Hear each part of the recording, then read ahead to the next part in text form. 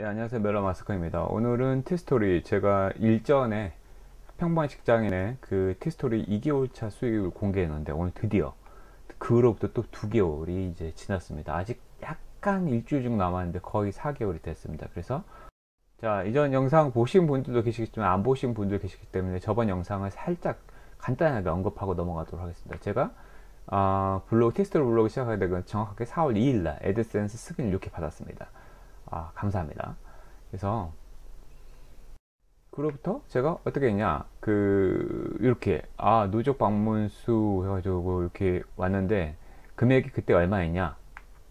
그 운영 기간은 그 당시에는 2개월이었죠 정확하게. 정확하게 2개월하고 5일이었죠. 그 다음에 평균 방문자 수는 50에서 80명이었고 어, 6월 7일 날 그때 찍었을 때 67명인데 그때 당시 얼마였다 라고 공개해 드렸죠. 한 번 더 보여드릴게요. 그때 당시에 요거였어요 어, 30명, 50명에서 아무도 클릭 안 하면 하루에 10원씩 버, 벌어, 버는 거고 두 달 수익이 12,000원이었어요. 그래서 한 달에 6,000원씩. 제가 늘 말씀드리지만 우리 지금 최저임금이 지금 또 올랐죠. 내년부터 또 오르는데 어찌됐든 올해 올해의 최저임금은 8, 1시간 1시간에 8,720원입니다. 우리가 한 달 동안 1일 1포를 했거든요. 2개월 때까지는 되게 열심히 달렸어요. 1일 1포, 최소 2일 1포, 아니, 면 진짜 못해도 3일 1포 이렇게 해서 유지했던 수익이 6천원이었습니다. 한 달에 6천원. 한 달에 6천원이면 1시간 최저 임금보다 못 본 거예요. 엄청 이게 이게 1일 1포를 하려면 다시 말씀드리지만 최소의 하루에 30분에서 1시간의 글쓰기 시간이 들어갑니다. 하루에 1시간씩 인풋이 들어가는데 최저임금 얼마? 8,220원인데 그걸 30일 동안 했는데 6천원 벌었습니다. 네. 그래서 이제 본격적으로 오늘 이제 4개월이 지났습니다. 그럼 정확하게 보여드릴게요. 정확하게 제 블로그에 그 애드센스 레포트에 있는 거 그대로 가져왔습니다. 아, 평균적으로 어, 평균 방문자는 여기 나왔죠. 페이지 뷰로 이제 평균 방문자하고 약간 다르긴 한데 그렇게 보시면 돼요. 평균적으로 저는 4달 동안 평균적으로 84명이 하루에 방문을 하더라 라는 얘기고 아, 4달 수익이 예상 수입 있죠. 4달 수익은 2만 1천원이에요. 21달러인데 뭐 1달러에 1000원씩 계산하면 2만 1000원입니다. 이거를 4개월로 나누면 한 달에 얼마 벌었다? 5200원. 5200원 벌었어요. 어, 저는 이제 꾸준히 방문자 수가 늘고 그러면서 조금 더 수익이 늘지 않았는데 이게 예상보다 계속해서 단가가 떨어지는 거예요. 물론 이제 그 후로 방문자 수가 획기적으로 늘지 않았던 단점도 있고 뭐 제가 이전 영상 일, 이전 영상에 하나 남겨드렸는데 어, 다음에서 저품질 좀 걸린 현상도 있어요. 그럼에도 불구하고 어, 최근에도 구글 노출이 좀 이루어지기 시작하면서 구글, 구글 유입이 좀 그나마 버텨줘가지고 그래도 60에서 80 정도의 방문자 수는 유지를 하고 있어요. 그러면 우리 내가 4월달 초에 막상 초창기 때는 다음이 지원을 많이 해줘가지고 60에서 80 정도의 방문자 수를 유지했거든요. 방문자 수는 똑같은데 수익은 오히려 더 떨어지고 있다. 이거 좀 아이러니죠. 그래서 그래서 솔직히 저는 4개월 해봤잖아요. 4개월. 이미 뭐 이사양 잡스 이런 분들께서는 티스토리 블로그를 하신 여러분은 이미 상위 10%라고 이제 희망을 주시긴 하지만 지금 4개월까지만 했던 저의 결론 솔직히 말씀드리면 저는 솔직히 말씀드려서 디지털 노가다 노가 어, 노가다 같아요 솔직히.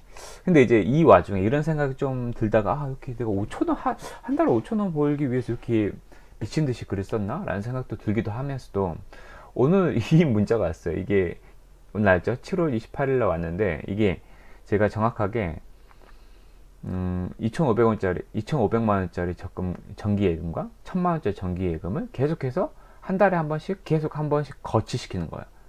한 달 기간 설정했는데 자동 해지하지 않고 제가 돈이 바로 필요하면은 바로 언제든 찾을 수 있도록 자동 재해치하는 프로그램을 했기 때문에 어, 4월 28일부터 오늘 정확하게 3개월 4, 5, 6, 7, 아, 4개월이네요. 4개월. 어, 4개월, 4개월에, 아, 5, 아니, 3개월 지났네요. 4월 28일부터니까 5, 6, 7이죠. 3개월 동안 얼마 벌었냐? 투자 금액은 3,500만 원인 거죠. 정확하게 여기 2만, 아니, 2,500만 원짜리에는 2만 7천, 세금 공제하고 2만 7,362원이 들어왔고, 1,000만 원짜리 예금에는 1,960원이 들어왔죠. 둘이 합치면은 38,322원입니다. 순수하게 제 돈이에요. 물론 이율로 따지면은 3,500만 원 대비하면은 0.11%입니다. 0.11%.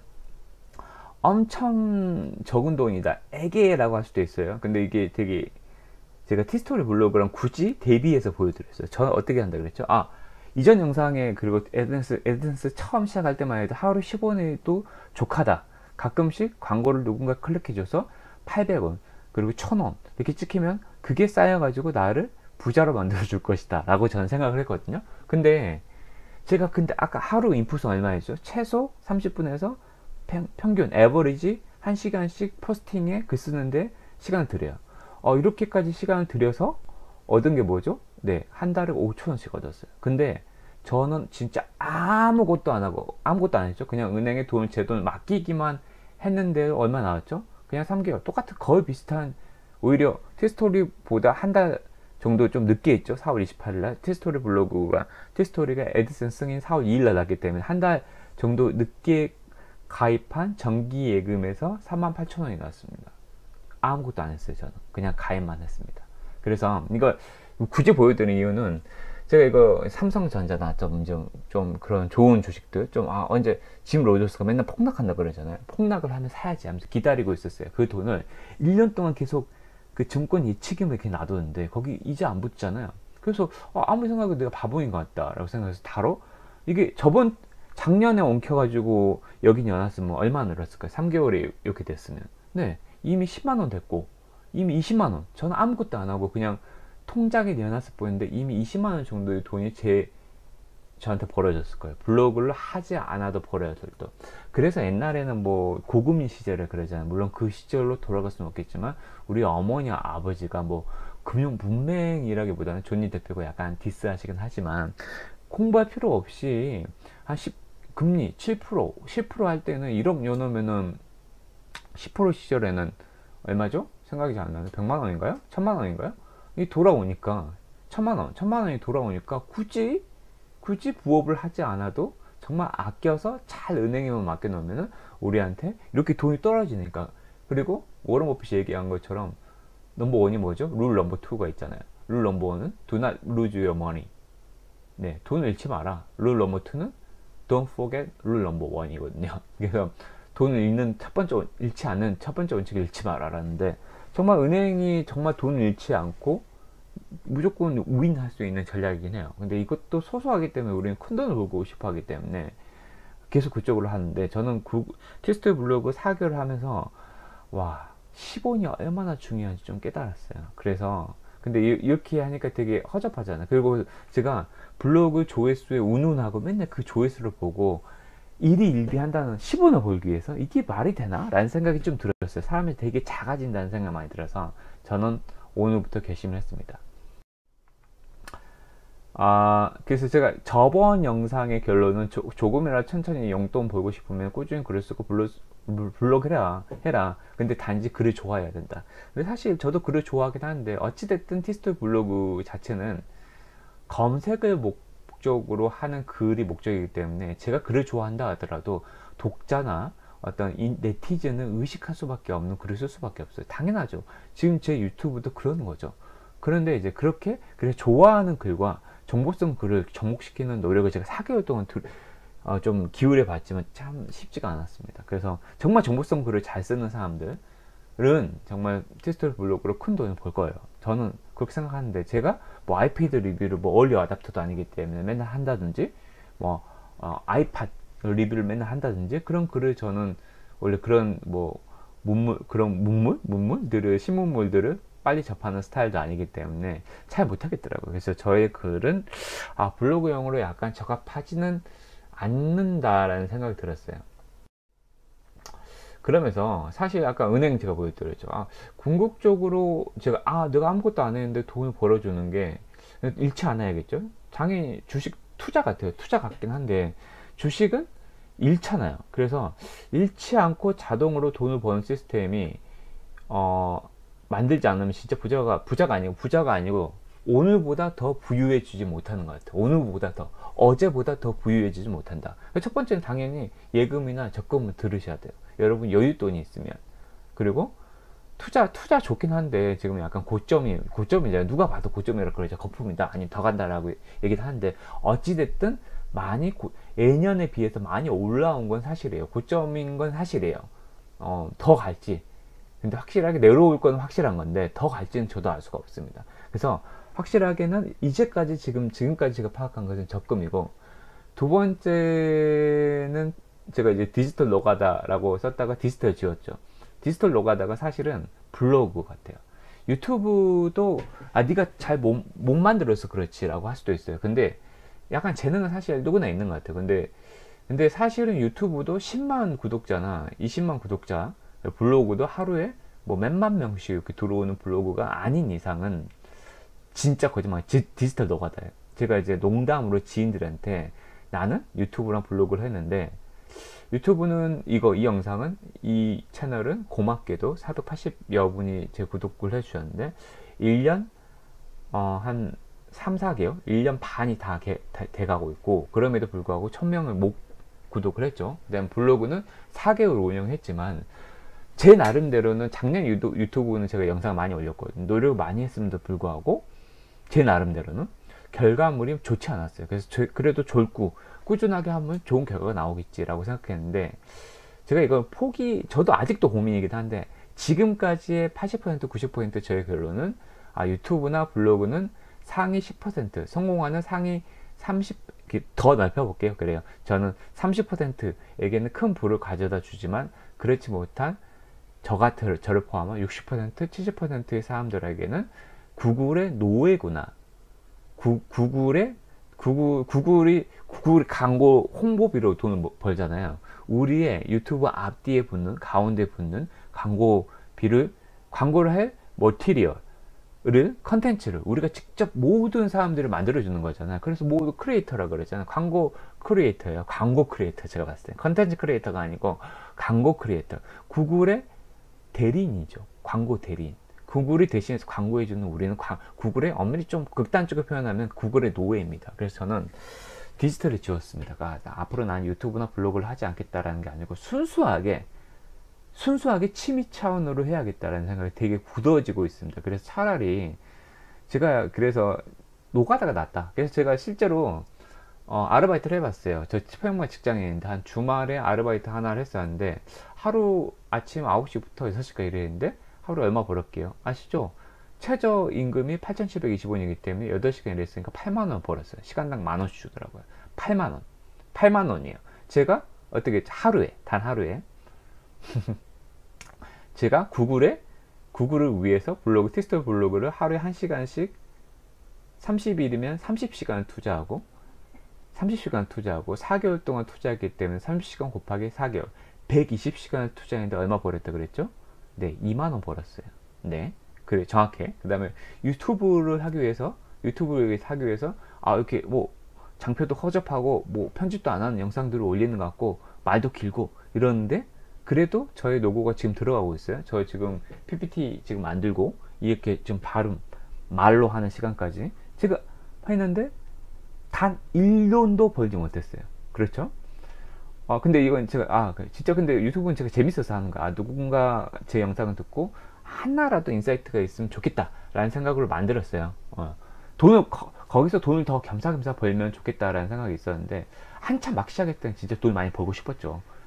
근데 이제 해보니까, 아, 유튜브나 블로그는 취미로 하는 게 맞겠구나. 정말 돈을, 큰 돈을 벌고, 그러니까 정말 부자가 되고 싶으면은 유튜브나 블로그로 돈이 부자가 되려고 하면 안 되는구나 라는 생각이 많이 들었어요. 그래서 차라리 노가다가 낫다 라는 생각이 저는 진짜 개인적으로 들었고 이런 생각을 하는 와중에 제가 이제 카카오톡 이모티콘도 준비를 하고 있는데 뭐 사실 약간 옹고집 이렇게 외곬 기질이 있어서 약간 트렌드 조사 되게 싫어하는데 오늘 그래도 요새는 많이 들어가 봐요. 아 너희가 너무 세상을 모르는 카톡이 원하는 스타일을 모르고 내가 도전하는 게 아닌가 라는 생각이 들어서 들어가 봤는데 들어가 보면 정말 잘 그리는 그림도 있고 뭐 이렇게 제가 노, 놀리는 거 아니에요 폄하하시는 거 아, 닙니다. 찌오의 러블러브 연구 이런 그림체 그림체만 보면 아이디어가 되게 좋아요. 그림체만 보면 어 이 정도 그림도 합격하는데 왜 내 거나 나 이거보단 잘 그리는데?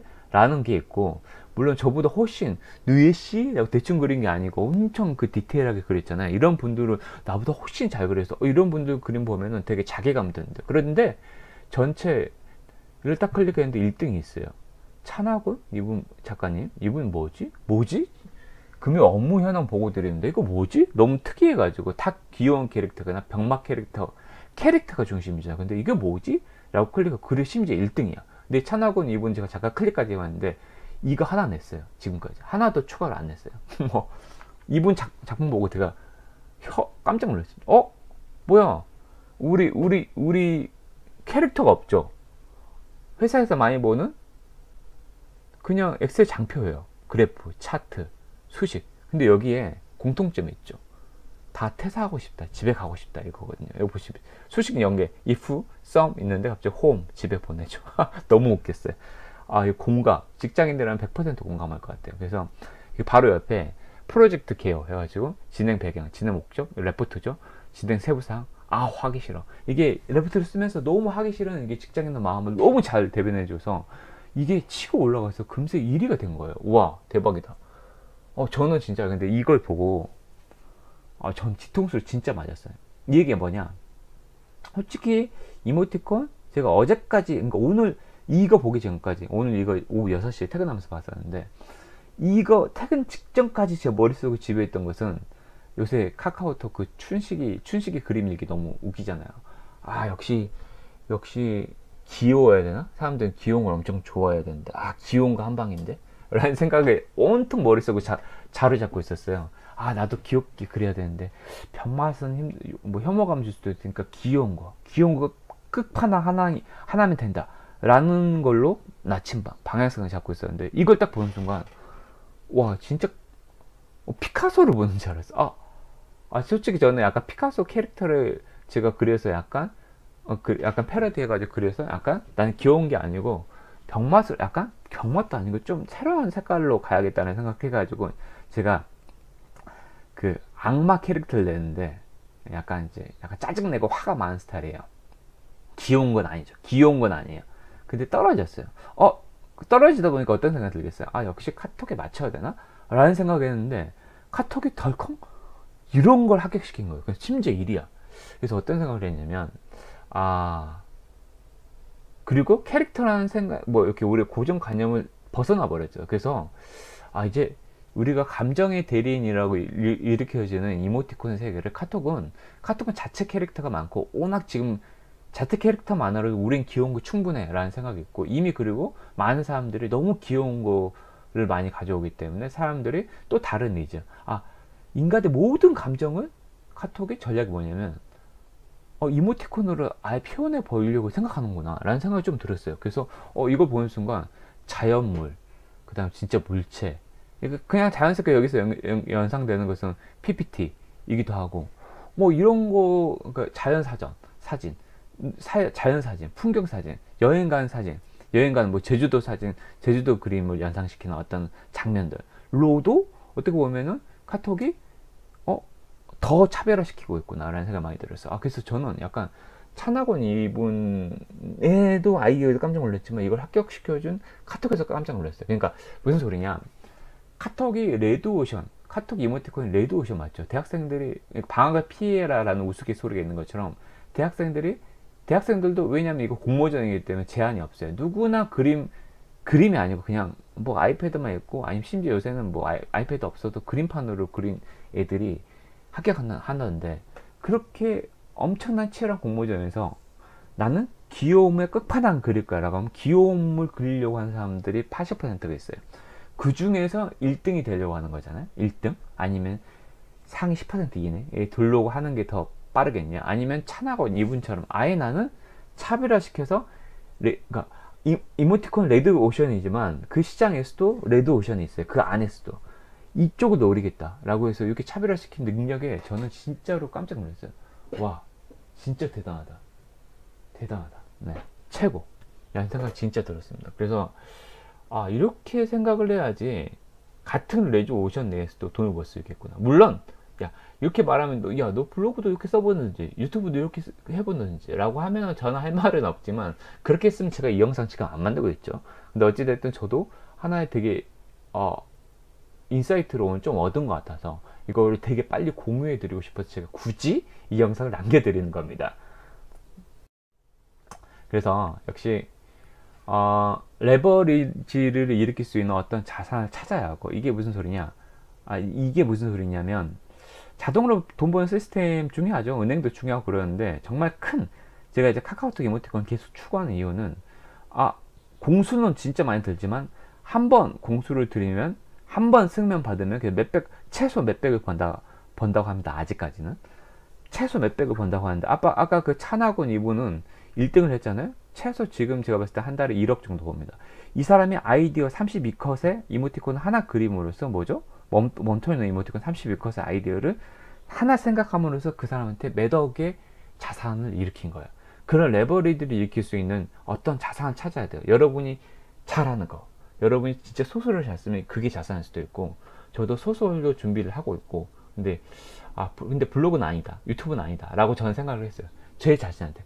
카톡도 하나, 하나, 하나를 일으키면 몇 억을 나한테 갖다 줄 수 있는 이런 자산들. 나한테 레버리지를 일으킬 수 있는 몇 배로 가성비 값, 효율 대비 값인 어떤 자산을 찾아야 되고 그거에 올인해야 되고 그 자산을 찾았으면은 난 여기 필드 여기서 승부를 보겠다라고 했으면 남들과 아까 피카소 찬화곤처럼 캐릭터가 지배하는 세상 또 캐릭터 중에서 귀여운 캐릭터들이 지배하는 세상에서 남들과 차별화된 시선을 무조건 가져야 됩니다. 그래야 여러분이 이, 이 여자처럼 이 아름다운 여인을 태우고 람보르기니를 끄는 그날까지 달릴 수 있습니다. 여러분 이 영상 들으신 여러분도 하나의 insight를 얻어서 저와 함께 부자가 될 때까지 달려보시죠. 오늘도 여기까지 들으신 여러분 감사합니다. 행복하십시오.